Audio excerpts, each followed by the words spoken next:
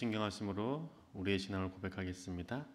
전능하사 천지를 만드신 하나님 아버지를 내가 믿사오며 그 외아들 우리 주 예수 그리스도를 믿사오니 이는 성령으로 잉태하사 동정녀 마리아에게 나시고 본디오 빌라도에게 권을 받으사 십자가에 못 박혀 죽으시고 장사한 지 사흘 만에 죽은 자 가운데서 다시 살아나시며 하늘에 오르사 전능하신 하나님 우편에 앉아 계시다가 죄로서 산자와 죽은 자를 심판하러 오시리라. 성령을 믿사오며 거룩한 공예와 성도가 서로 교타하는 것과 을사하여 주시는 것과 몸이 다시 사는 것과 영원히 사는 것을 믿사옵나이다. 아멘. 찬송가 410장입니다. 410장 내 맘에 한 노래 있어. 410장 함께 찬양하시겠습니다.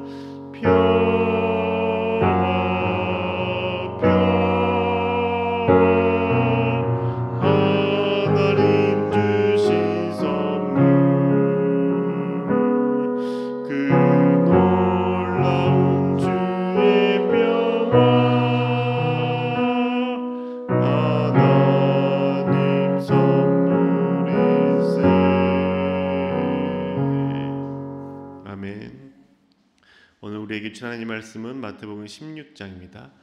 마태복음 16장 1절에서 4절의 말씀입니다.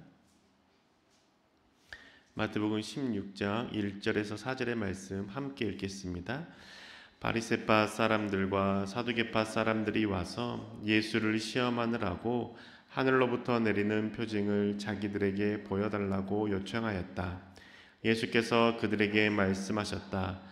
너희는 저녁 때에는 하늘이 붉은 것을 보니 내일은 날씨가 맑겠구나 하고 아침에는 하늘이 붉고 흐린 것을 보니 오늘은 날씨가 굳겠구나 한다. 너희는 하늘의 징조는 분별할 줄 알면서 시대의 징조들은 분별하지 못하느냐? 악하고 음란한 세대가 표징을 요구하지만 이 세대는 요나의 표징 말고는 아무 표징도 받지 못할 것이다. 그리고 나서 예수께서는 그들을 남겨두고 떠나가셨다.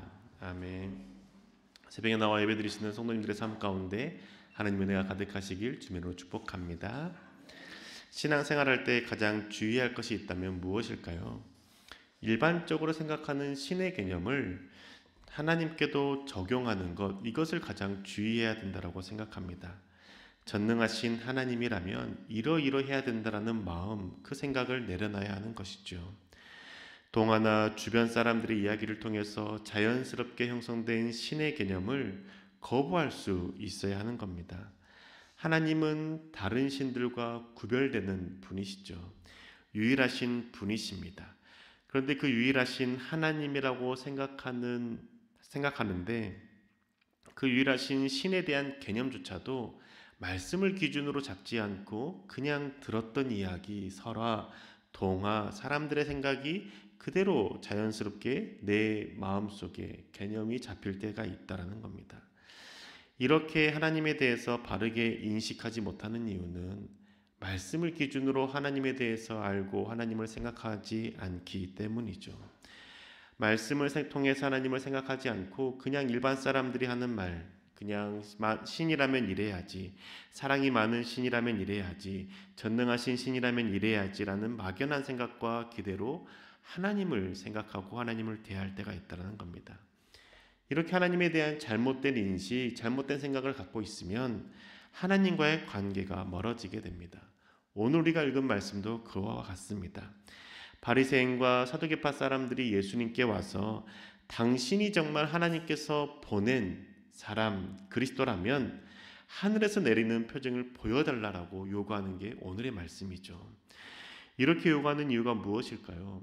자신들이 생각하는 그리스도인, 자신들이 생각하는 하나님께서 보내신 메시아의 모습이 지금 눈앞에 나타난 예수님과의 예수님의 모습과 너무 다르게 느껴졌기 때문입니다. 자신들이 생각한 그리스도 하나님이 보낸 메시아는 이방인을 개처럼 여기고 이방인을 무시하고 이스라엘 백성 하나님의 백성만을 위해서 일해야 된다라고 생각했던 것이죠. 그런데 주님께서는 방금 전에 이방인 4천 명을 먹이셨던 겁니다.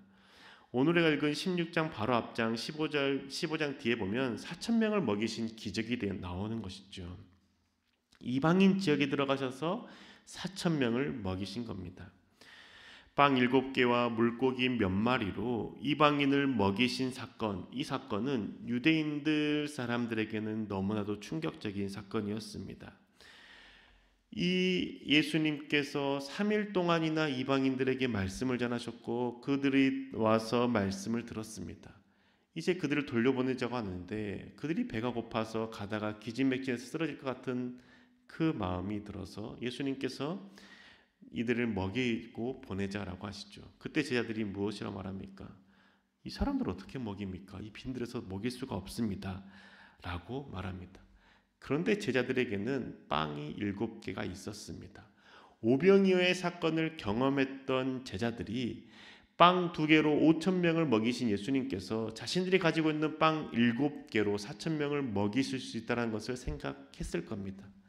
그런데도 그들은 그 빵을 있다라고 말하지도 않고 내놓지도 않았던 것이죠. 왜 그랬을까요? 이들이 이방인이었기 때문입니다. 하나님께서는 모세를 통해서 보여주던 그 기적의 사건들을 이스라엘 백성들에게만 보여주기를 원했고 그게 당연하다고 생각했던 것이죠. 그래서 그들은 말하지 않았는데 주님께서 직접적으로 말씀하시죠. 너희에게 빵이 몇 개가 있느냐? 일곱 개가 있습니다. 라고 말했을 때 예수님께서 가져오라고 하시고 축사하시고 그 사천 명을 먹이셨던 것이죠. 제자들은 이 빵인이 하나님의 은혜를 누릴 수 없는 자, 버려진 자라는 인식이 있었던 겁니다. 그것은 제자들뿐만 아니라 유대인들에게 뿌리 깊게 박혀 있었던 생각이었던 것이죠. 하나님께 선택받은 백성은 자신들이라는 생각 때문이었습니다. 그런데 그 이방인들은 개처럼 여기고 자신들은 선택받았다는 생각을 바리새인과 사두개인들도 깊이 생각하고 있었고 가슴속 깊이 있었던 생각들이었습니다. 그런데 지금 예수님께서 그 이방인제에 가셔서 말씀을 가르치실 뿐만 아니라 4천 명을 먹이신 사건을 보고 너가 정 하나님 보낸 사람이 맞느냐라는 의문이 든 것이죠. 그래서 그들은 너가 정말 하나님이 보냈다라면 하늘에서부터 오는 표징을 우리에게 보여주라라고 말하는 겁니다. 하늘로부터 내려오는 표징을 보여달라. 이 표징이 무엇일까요? 모세가 행한 기적을 요구하는 겁니다. 사두개파 사람들은 누구입니까? 모세 오경만을 믿는 사람들입니다. 모세 오경만을 성경으로 인정하고 하나님의 역사라고 인정하는 사람들입니다. 그리고 바리새파 사람들은 구약 전체를 믿는 사람입니다. 모세 오경과 구약 전체를 믿는 사람들이 와서 예수님께 하늘로부터 온 표징을 요구한다라는 것은 사두개파 사람들도 인정할 만한 표징이지 않겠습니까? 그게 바로 모세의 기적이라는 겁니다. 이스라엘 백성들이 잊지 못할 기적. 하나님께서 모세를 보내셨다라는 것을 부인할 수 없는 기적. 그 기적이 무엇이었습니까? 출애굽이었습니다. 이스라엘 백성들을 이집트에서 이끌어낸 모세와 같은 그 기적, 그것을 지금 예수님께 요구하는 것이죠. 로마로부터 해방시키면 너가 하나님이 보낸 사람이라는 것을 믿겠다라고 말하는 것이죠. 자신들이 생각하는 기준대로 너가 행동하면 예수님께서 행하시면 너가 하나님이 보낸 사람이다라고 믿겠다라고 생각하는 그 마음 저와 여러분에게도 있지 않습니까? 내가 생각하는 기적, 내가 경험하고 정말로 신이 아니면 할 수 없을 것 같은 기적, 그 기적들을 하나님께 요구하신 적 있지 않습니까? 하나님이 전능하신 분이시기 때문에 이렇게 요구하는 것 이상할 것 없고 전능하시고 정말 나를 사랑하신다면 당연히 들어준다는 생각으로 그렇게 구하고 계시는 것 있지 않습니까? 그런데 내가 무엇이기에 전능하신 하나님께 이것을 해달라 저것을 해달라라고 뺏쓰듯 조르며 요구할 수 있을까요? 내가 어떤 존재이기에 나를 지으신 분에게 내 기도와 요구를 안 들어줬다라고 화를 내고 하나님을 미워하고 하나님께 원망할 수 있겠습니까? 나에 대한 인식, 그리고 하나님이 어떤 분이신지에 대한 바른 인식을 갖고 있지 않으면 우리는 계속해서 잘못된 태도로 하나님께 나아가게 되는 것이죠. 하나님에 대한 바른 인식 어떻게 가질 수 있습니까? 말씀을 기준으로 가져야 되지 않겠습니까? 하나님이 천지를 창조하신 분이시고 나를 지으신 분이십니다. 그러면 천지를 지으시고 나를 지으신 하나님께서 나를 가장 잘 아시기에 내게 필요한 것을 내 때에 맞춰 주신다라고 믿을 수 있지 않겠습니까? 하나님은 만물의 통치자이시고 모든 것의 주인 되신 분이십니다. 하나님께서 내 삶의 주인 되시기 때문에 나에게 말씀하시고 명령하실 수 있는 분이시고 그 주인 되신 주님께 우리가 순종해야 되는 것 아니겠습니까? 하나님은 나를 필요로 하시는 분이 아니라 내가 하나님을 필요로 하는 존재라는 사실을 인식해야 되지 않겠습니까? 하나님은 홀로 존재하실 수 있는 분이십니다. 홀로 존재하셨고 홀로 계시면서 이 땅을 지으신 분이십니다. 그런데 우리는 단 한 순간도 나 혼자 살 수 없고 주님 없이는 살아갈 수 없는 존재라는 사실 인식해야 되지 않겠습니까? 하나님에 대한 바른 인식, 그리고 나와 하나님과의 관계에 대한 바른 생각을 가질 때에 우리는 하나님에 대해서 바르게 나아가고 하나님과 바른 관계를 맺으며 신앙의 깊이가 깊어질 수 있는 것이죠. 내가 생각하는 것, 내가 기대하는 것만 하나님께 요구하는 그 태도를 버릴 수 있는 겁니다. 하나님이 나의 간구를 들어주지 않는다고 해서 하나님을 외면하지 않는다라는 것이죠. 내가 교회에 열심히 나가고 봉사를 열심히 하기 때문에 하나님께서 나에게 복 주시는 것 당연하다고 생각하는 것 그래야만 한다는 생각을 외면하고 버릴 수 있어야 된다는 겁니다. 하나님을 위해서 무엇인가를 했으니 그 대가를 나에게 좋은 것 달라라고 하는 그 태도 우리는 버릴 수 있어야 되는 것이죠. 우리는 하나님을 위해서 무엇인가를 할 수 있는 존재가 아닙니다. 하나님을 위해서 무엇인가를 할 수 있다라는 생각 자체는 내 도움이 하나님께 필요하다라는 생각이 깔려 있는 겁니다. 하나님이 우리의 도움이 필요하신 분이실까요? 정말 그렇게 생각하십니까?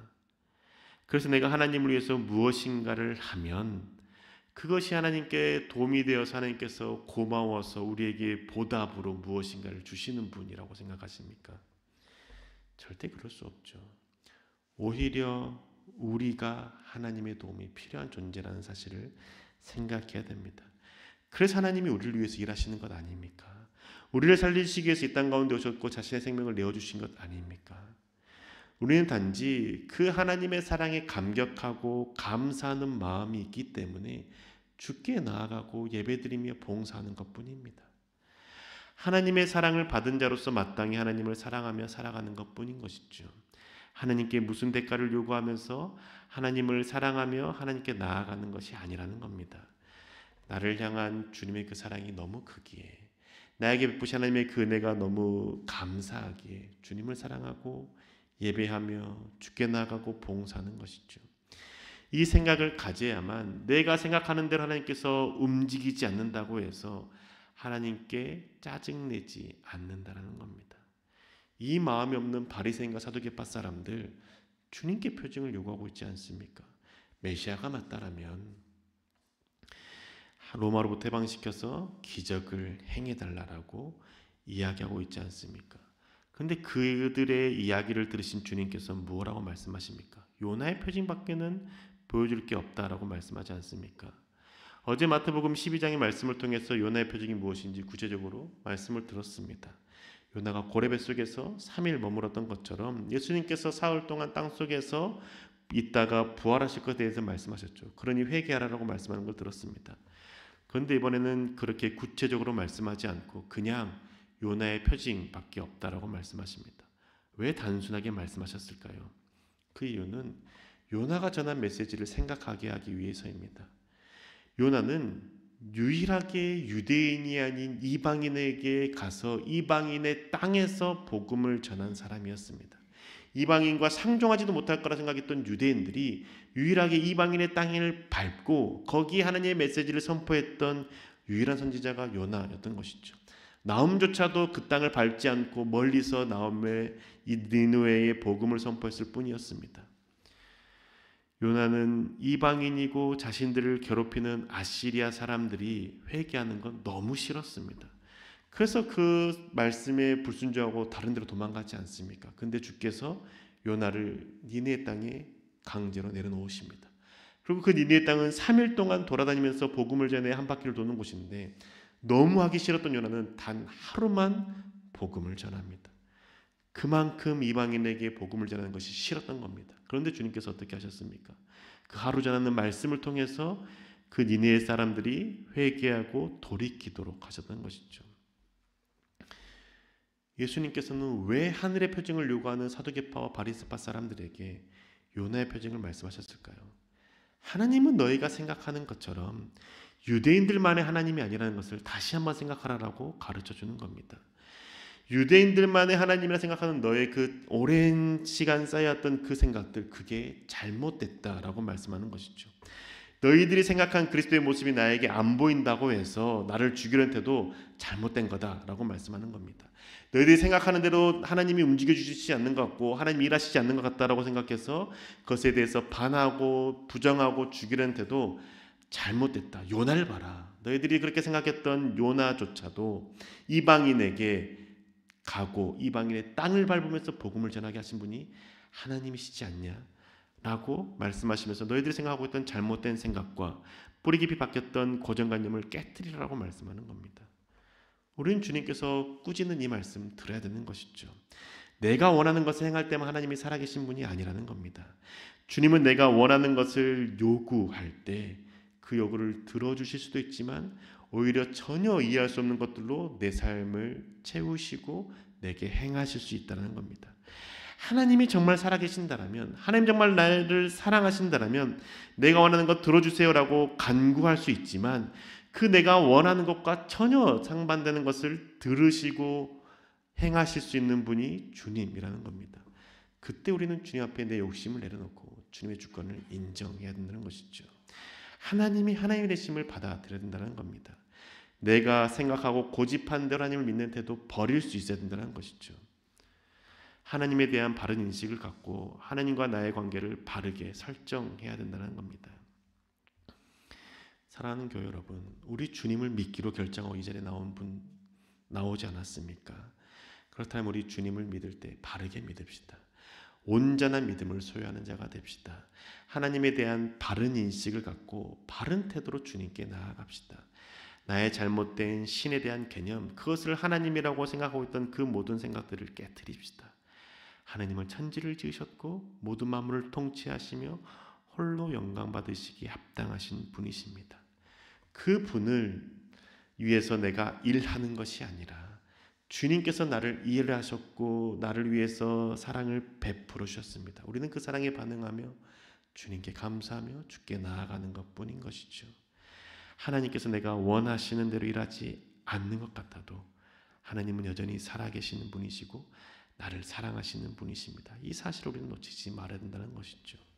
이 사실을 기억하고 온전히 주님의 말씀을 따라 주님을 알고 주님의 말씀에 순종하며 살아가는 저와 교회 여러분 되시기를 주님의 이름으로 축복합니다. 기도하겠습니다. 주님, 하나님에 대한 바른 믿음 갖는 자가 되길 소망합니다. 그냥 막연하게 전능하신 분이시라면, 나를 정말 사랑하는 존재라면, 신이라면, 나에게 이렇게 해줘야 된다라고 생각했던 그 모든 마음들, 이제는 내려놓기 원합니다. 말씀을 통해 주님을 알기를 원하고, 말씀을 통해 주께 나아가기를 원하며, 하나님의 일하심에 대해서 묵상하며 하나님의 뜻을 발견하기로 결단하는 저들 되길 소망하오니 우리 가운데 믿음을 더하여 주시고 주를 바르게 볼 수 있는 눈 열어 주시고 온전한 믿음으로 주께 나아갈 수 있도록 인도하여 주옵소서. 그래서 주님과 함께 동행하는 그 믿음, 그 삶이 때로는 힘들어 보이고 고통이 따르는 것 같지만 그게 참된 영광의 길이고 하나님과 함께하는데 함께하는 참된 평안의 길임을 경험하고 고백할 수 있는 삶 살아가게 인도하여 주옵소서. 언제나 왕 되신 우리 주 예수 그리스도 이름으로 기도합니다. 아멘. 하늘에 계신 우리 아버지여 이름이 거룩히 여김을 받으시오며 나라 임하옵시며 뜻이 하늘에서 이룬 것 같이 땅에서도 이루어지이다. 오늘날 우리에게 일용할 양식을 주옵시고 우리가 우리에게 죄 지은 자를 사하여 준 것 같이 우리 죄를 사하여 주옵시고 우리를 시험에 들게 하지 마옵시고 다만 악에서 구하옵소서. 대개 나라와 권세와 영광이 아버지께 영원히 있사옵나이다. 아멘